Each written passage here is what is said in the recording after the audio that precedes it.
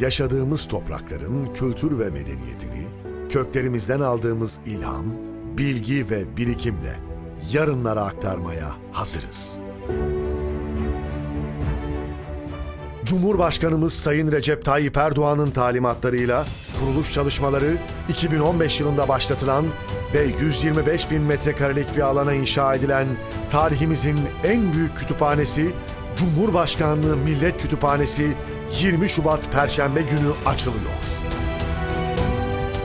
Burası sizlerin evi. Burası Türkiye Cumhuriyeti Cumhurbaşkanlığı Millet Kütüphanesi.